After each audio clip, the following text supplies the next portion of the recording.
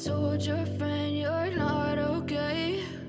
And tell me what's wrong and why you never said you felt illallah.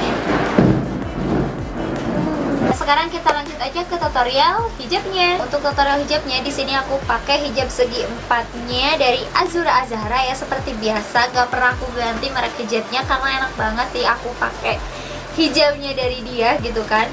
Meskipun uh, banyak banget uh, merek-merek lain, tapi aku suka banget sama brandnya Azura Azhara ya teman-teman. Ya sekarang aku pakai hijab segi empatnya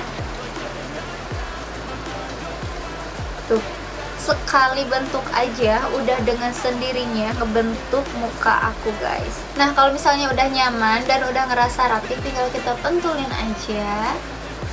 Setelah ini bagian yang atasnya aku tarik ke atas seperti ini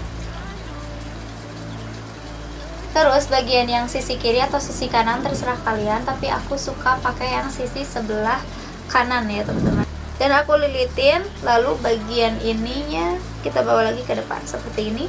Bagian yang ini tuh diturunin ya model hijabnya yang simple aja tapi dia tetap menutup dada ya buat kalian yang suka hijabnya menutup dada gitu.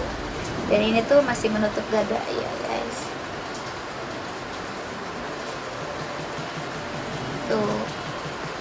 jadi kayak gini ya teman-teman. Ini tuh dirapi-rapin aja serapi mungkin.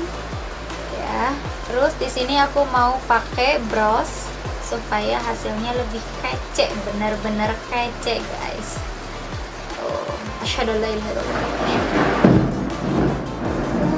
jadi ini dia hasil final looknya. Semoga kalian suka. Untuk look tutorial hijab dan makeup kali ini maaf banget kalau misalnya konten kali ini tuh nggak serius banget gitu guys. Karena nggak ada uh, ring lighting terus uh, pindah posisi gitu kan segala macam maaf banget karena emang tadi di luar dugaan ya. Maaf banget kalau misalnya konten hari ini tuh kayak asal-asalan gitu loh.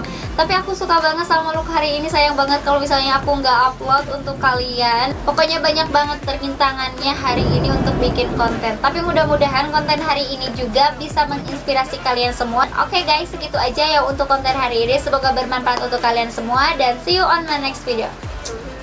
Bye bye